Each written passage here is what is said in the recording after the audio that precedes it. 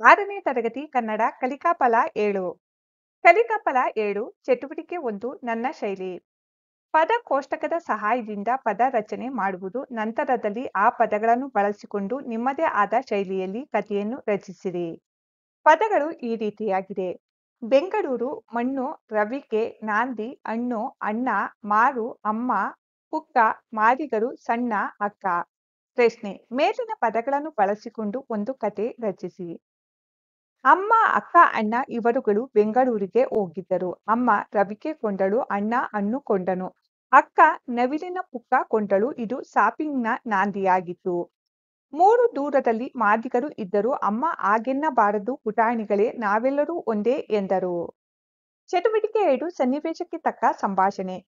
ನೀಡಿರುವ ನಾನಾರ್ಥ ಪದಗಳಿಗೆ ಶಬ್ದಕೋಶದ ಸಹಾಯದಿಂದ ಅರ್ಥವನ್ನು ಕಂಡುಕೊಂಡು ಸಹಪಾಠಿಯ ಸಹಾಯದಿಂದ ಸ್ವಂತ ವಾಕ್ಯ ರಚಿಸಿ.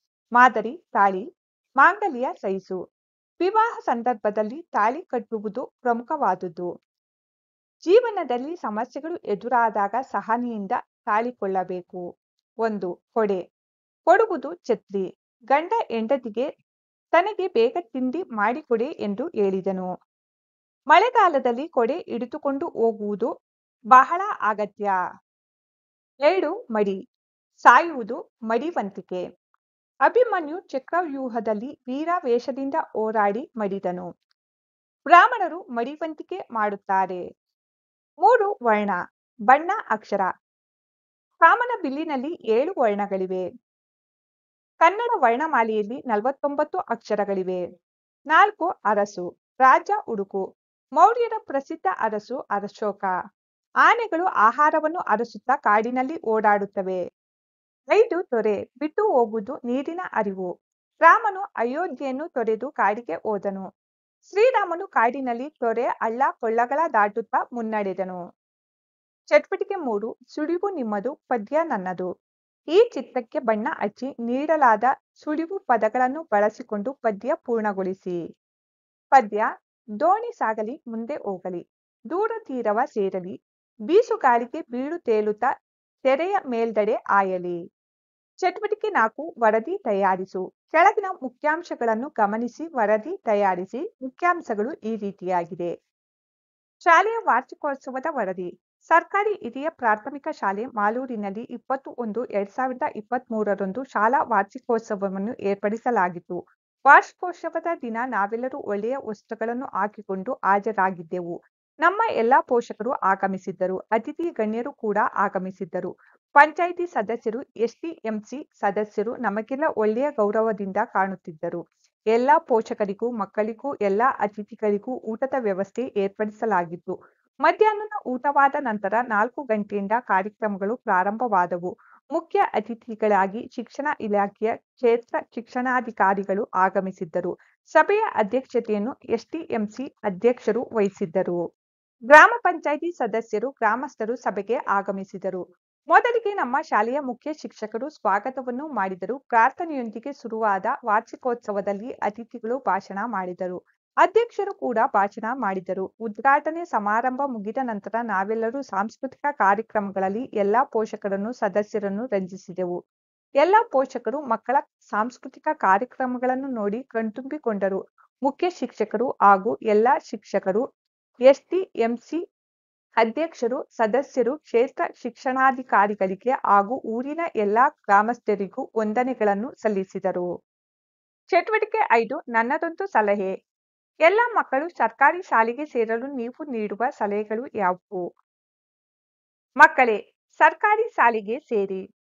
ಸುಮ್ಮನೆ ಕಾನ್ವೆಂಟ್ಗೆ ಹೋಗಿ ನಿಮ್ಮ ತಂದೆ ತಾಯಿಗಳ ಹಣ ಪೋಲು ಮಾಡಬೇಡಿ. ಸರ್ಕಾರಿ ಶಾಲೆಯಲ್ಲಿ ಕನ್ನಡ, ಇಂಗ್ಲಿಷ್, ಹಿಂದಿ ಮೂರು ಭಾಷೆಗಳನ್ನು ಕಲಿಸಲಾಗುತ್ತದೆ. ಇಲ್ಲಿ ಉಚಿತ ಸಮವಸ್ತ್ರ, ಮಧ್ಯಾಹ್ನದ ಬಿಸಿ ಊಟ, ಹಾಲು, ಮೊಟ್ಟೆ ಇತ್ಯಾದಿ ಸರ್ಕಾರಿ ಸೌಲಭ್ಯಗಳು ಸಿಗುತ್ತವೆ. ಸರ್ಕಾರಿ ಶಾಲೆಗಳಲ್ಲಿ ಕನ್ನಡವನ್ನು ಕಲಿಯುತ್ತೀರಿ, ಕರ್ನಾಟಕದಲ್ಲಿ ಕನ್ನಡವನ್ನು ಉಳಿಸಿದ ಹೆಮ್ಮೆ ನಿಮ್ಮದಾಗುತ್ತದೆ. ಚಟುವಟಿಕೆ ಆರು, ಪದ್ಯ, ತಿಳಿ, ಅನುಭವ ಬರೆ. ಪದ್ಯ. ಈ ಪದ್ಯದಲ್ಲಿ ಪುಟಾಣಿ ಪಾಪು ಮಾಡುವ ಅತ್ಯುನ್ನತ ಕೆಲಸವನ್ನು ತಿಳಿಸಿದ್ದಾರೆ. ಪುಟಾಣಿ ಪಾಪು ಪುಟ್ಟ ಪುಟ್ಟ ಹೆಜ್ಜೆ ಇಟ್ಟು ಬೆಟ್ಟದ ಮೇಲೆ ಹತ್ತಿ ಹೋಗುತ್ತಾನೆ. ಅಲ್ಲಿ ಮೋಡಗಳನ್ನು ಕರೆದು ಪಕ್ಕದಲ್ಲಿ ಕೂರಿಸಿಕೊಳ್ಳುತ್ತಾನೆ ಕೂಡಿಸಿಕೊಂಡು ಮೋಡಗಳ ಜೊತೆಗೆ ಮಾತನಾಡುತ್ತಾನೆ. ಈತ ಯಾರೆಂದರೆ ಪುಟಾಣಿ ಪಾಪು. ಅಂದರೆ ಪಾಪು ನಡೆದಾಡುವುದೇ ಒಂದು ದೊಡ್ಡ ಕೆಲಸ. ಅದು ಪುಟ್ಟ ಪುಟ್ಟ ಹೆಜ್ಜೆ ಇಟ್ಟು ನಡೆದರೆ ಅದೇ ಬೆಟ್ಟದ ಮೇಲೆ ಹತ್ತಿದ ಹಾಗೆ. ಹಾಗೂ ಆಕಾಶಕ್ಕೆ ನೋಡಿದರೆ ಮೋಡವೇ ಹತ್ತಿರ ಬಂದಂತೆ. ಚಟುವಟಿಕೆ ಏಳು, ಬರವಣಿಗೆಯ ಮಜಾ. ಒಂದು ಪದ್ಯವನ್ನು ಕಥೆಯ ರೂಪದಲ್ಲಿ ಬರೆದು, ಕಥೆಗೊಂದು ಶೀರ್ಷಿಕೆ ನೀಡಿ, ಕಥೆಗೆ ಸೂಕ್ತವಾದ ಗಾದೆ ಮಾತು ಬರೆಯಿರಿ. ಪದ್ಯ ಅನ್ನದಾತ. ಶೀರ್ಷಿಕೆ ರೈತ ಅನ್ನದಾತ. ಕತೆ ರೈತ ಅನ್ನದಾತ. ಹೊಲದಲ್ಲಿ ದುಡಿಯುವನು. ನಾಡಿನ ಜನರು ಬದುಕಲು ದವಸ ಧಾನ್ಯಗಳನ್ನು ಬೆಳೆಯುತ್ತಾನೆ. ಗುಡುಗು, ಸಿಡಿಲು, ಮಳೆ, ಗಾಳಿ, ಚಳಿಗೆ ನಡುಗಿ ಬಿಸಿಲ ಬೇಗೆಯನ್ನು ಸಹಿಸುತ್ತಾ ಬೆವರು ಸುರಿಸಿ ಕಷ್ಟಗಳನ್ನು ಸಹಿಸಿ ಒಂದೇ ಸಮನೆ ದುಡಿಯುತ್ತಾನೆ. ಅನ್ನವನ್ನು ನೀಡುವ ಅವನು ಯೋಗಿ ಮತ್ತು ತ್ಯಾಗಿಯಾಗಿದ್ದಾನೆ. ಅವನ ಇಬ್ಬರು ಗೆಳೆಯರೆಂದರೆ ಜೋಡೆತ್ತುಗಳು. ಜೋಡೆತ್ತುಗಳು ಎಷ್ಟೇ ಕಷ್ಟ ಬರಲಿ ಹೊಂದಿಕೊಂಡು ನಡೆಯುತ್ತವೆ. ಕಷ್ಟಗಳನ್ನು ಸಹಿಸಿ ಅವನ ದೇಹ ಗಟ್ಟಿಯಾಗಿದೆ. ಒಳಗೆ ದೊಡ್ಡ ಮನಸ್ಸಿದೆ, ಇದೆಲ್ಲ ಆ ದೇವನ ಕೃಪೆ.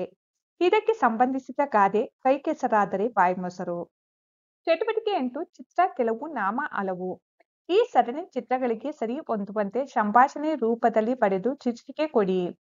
ಶೀರ್ಷಿಕೆ, ರಾಜುವಿಗೆ ಅವನ ತಂಗಿ ಕಲಿಸಿದ ಪಾಠ. ಸಂಭಾಷಣೆ. ರಾಜು, ಈ ಮರದಲ್ಲಿ ಎಷ್ಟೊಂದು ಮಾವಿನ ಹಣ್ಣುಗಳಿವೆ ಹಾಗೂ ಅಲ್ಲಿ ಏಣಿಯೂ ಇದೆ ಅದನ್ನು ತರುವೆ. ಸುಮ್ಮ ಆಯ್ತು. ತಂದು ನಮಗೆ ಬೇಕಾದಷ್ಟು ಮಾವಿನ ಹಣ್ಣುಗಳನ್ನು ಕೀಳೋಣ. ರಾಜು, ಏಣಿಯನ್ನು ಗಟ್ಟಿಯಾಗಿ ಹಿಡಿದುಕೋ, ನಾನು ಹತ್ತುತ್ತೇನೆ. ಸುಮ, ಜಾಗ್ರತೆ, ನಿಧಾನವಾಗಿ. ರಾಜು, ಆ ಹತ್ತಿದೆ, ಎಂತಹ ಹಣ್ಣುಗಳು? ಸುಮ, ರಾಜು, ನನಗೂ ಕೊಡೋ ಕಿತ್ತು ಕೆಳಗೆ ಹಾಕು. ರಾಜು, ಇಲ್ಲ, ಹಾಕುವುದಿಲ್ಲ. ನೀನು ಅತ್ತಿ ಕಿತ್ತುಕೋ. ಸುಮ ಎಲ ಕಳ್ಳ, ತಡಿ ಮಾಡುತ್ತೇನೆ.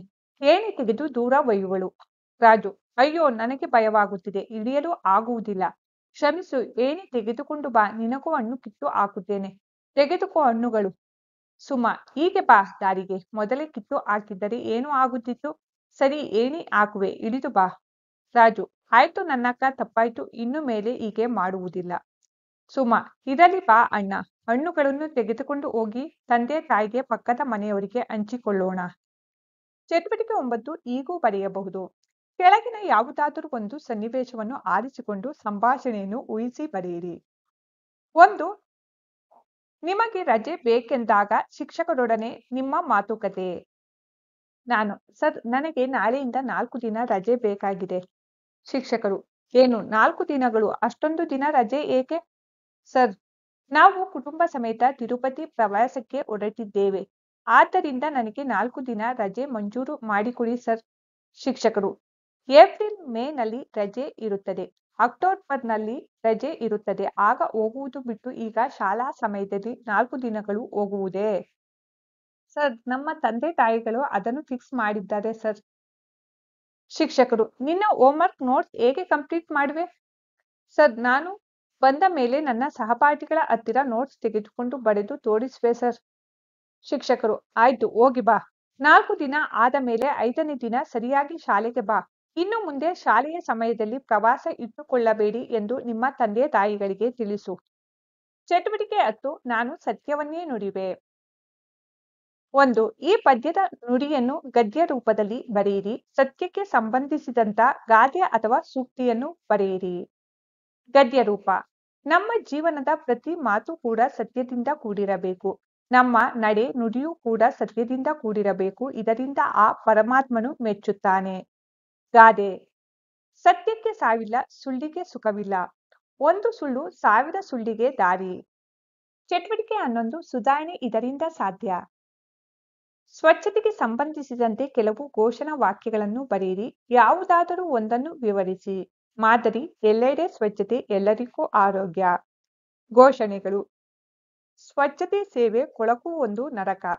ಪ್ರತಿಯೊಬ್ಬ ಪ್ರಜೆಯು ಸ್ವಚ್ಛ ಭಾರತದ ಕನಸು ಕಾಣಬೇಕು. ನಮ್ಮ ಭಾರತ ಸ್ವಚ್ಛವಾಗಬೇಕು. ಸ್ವಚ್ಛತೆಗೆ ಎಲ್ಲರೂ ಕೈಜೋಡಿಸೋಣ.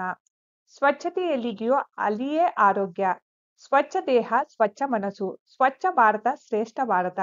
ಸ್ವಚ್ಛತೆ ಎಲ್ಲಿದೆಯೋ ಅಲ್ಲಿ ದೇವರು ನೆಲೆಸಿರುತ್ತಾನೆ.